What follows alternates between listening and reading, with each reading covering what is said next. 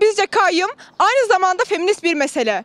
Bunu Diyarbakır'da ve Batman'da açıkça gördük. Çünkü kayyum atanıp atanmaması, belediyelerin kadınların kapısından girebileceği mekanlar olup olmadığını, kentlerin kadınların kamusal alanda özgürce, eşit ve şiddetten uzak nefes alabileceği yerler olup olmadığını ve kadınların karar hakkı olup olmadığını belirliyor. Ayrıca kayyumlar ve sürekli dillendirilen kayyum ihtimali Diyarbakır'da dans etkinliği yapanlara, havuza girenlere, kahveciye gidenlere tekbirle ve faili meçhul tehdidiyle saldıran Hizbullah zihniyetinden açıkça güç alıyor ve onu palazlandırıyor. Kayyum yönetimi altında belediyeler evlilik teşvikinin, kadınları ikinci sayan eşitsiz değerler eğitiminin, hayatımızın sınırlarını, sınırını çi- çizmeye kalkan aile vizyon belgesinin birincil uygulama mekanı oluyor. İktidar öyle hırslı ki otobüslerle dışarıdan seçmen taşımasına, sandık başında insanlara saldırmasına, kayyum tehdidine rağmen kazanılan belediyelerin çalışmaması için elinden geleni yapıyor.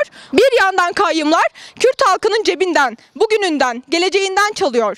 Mesela kadınların her gün evde ücretsiz çalıştığı bu dünyada bir takım erkeklerin çalışmadan ücret almayı kendi, kendinde hak görmesini sağlıyor. Kayyum yönetimi altında Diyarbakır Bağlar Belediyesi çalışanlarının hiç işe gelmeden maaş aldığını, bu nedenle işten çıkarılınca da seçilmiş eş başkan Leyla Ayaz'ı yüzsüzce hedef göstermeye koyulduklarını henüz yeni gördük. Biz kadınlar irademizin yok sayılmasına karşı doğduğumuz andan itibaren mücadele etmek zorunda kalıyoruz. Cizre Belediye Eş Başkanı Güler Tunç'a kadındır diye konuşmaya hakkı yok diyen o polis amiri hepimize bir biçimiyle tanıdık. Kadınsan konuşmaya, Kürtsen se- seçtiğin tarafından yönetilmeye hakkın olmadığına inandırmaya, bunu kanıksatmaya çalışıyorlar.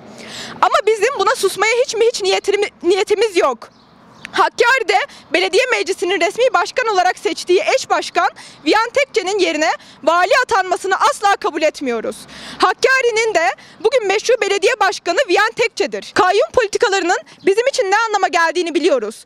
Bu ziyaretimizin de ilk durağı yine halk iradesi içe sayılarak kayyum atanmış ve son seçimde yeniden kazanılan Yü- Yüksekova oldu. Hep birlikte kayyuma hayır diyoruz. Jen, Jiyan, Azadi!